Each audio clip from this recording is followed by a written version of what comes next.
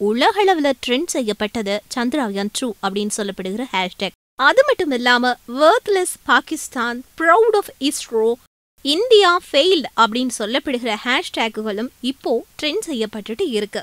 ஹேஷ்டேக்குகள் இப்படி அமர்கிழப்படுத்த memes creator இனிமே விட்டு வைப்பாங்களா?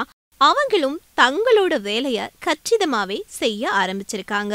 அதிலும் சந்திராயன் டூ விண்கல திட்டம் தொடர்பில பாகிஸ்தானோட அறிவியல் மற்றும் தொழில்நுட்பத்துறை அமைச்சர் கிண்டல் செய்து ட்வீட் செய்திருந்தார். அதில் தயவு செய்து தூங்குங்க நிலவில் இறங்க வேண்டிய பொம்மை மும்பையில் இறங்கிவிட்டது என்று கூறியிருந்தார். இதற்கு இந்தியர்கள் அவரை கடுமையாக சாடி வருகிறார்கள்.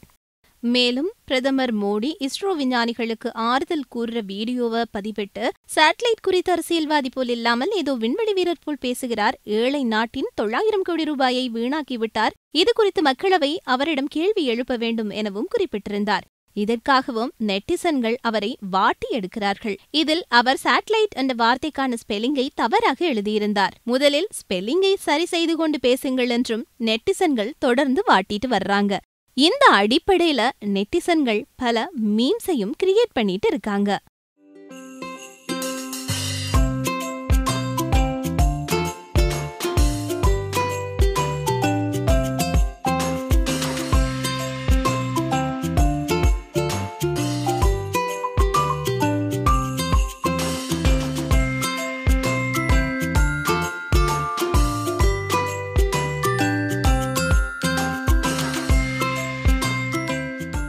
பிரபலங்கள் எல்லாம் தங்களுடைய வாழ்த்துக்களை சந்திராயன் டூ மற்றும் இஸ்ரோ டீமுக்கு சொல்லியிருக்காங்க.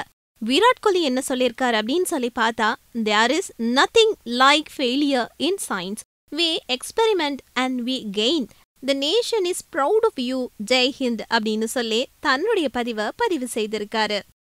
அது மட்டும் இல்லாம ஹெச் ராஜா தன்னுடைய ட்விட்டர் பக்கத்துல பாரதம் பெருமை கொள்கிறது.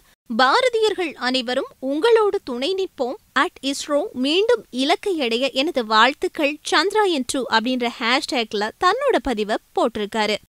மேலும் கனிமொழி தன்னுடைய ட்விட்டர் பக்கத்துல it is a mission completed ninety five percentage and let's make hundred percentage next time thank you ISRO and it's chairman Sivan for making our nation proud a nation of billion people is behind you in this journey அப்படின்னு சொல்லி அவங்க குறிப்பிட்டிருக்கிறாங்க.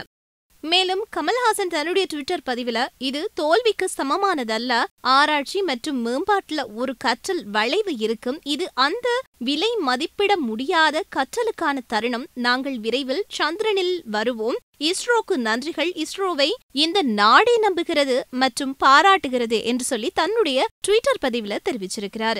இவ்வாறு பலரும் தங்களுடைய வாழ்த்துக்களை இஸ்ரோக்கும் சந்திராயன் டூவை உருவாக்கின டீமுக்கும் தெரிவிச்சுட்டே வர்றாங்க. இது தொடர்பில் நீங்க என்ன சொல்ல விரும்புறீங்க அப்படின்றத மறக்காம எங்களுடைய கமெண்ட் பகுதியில பதிவு செய்யுங்க.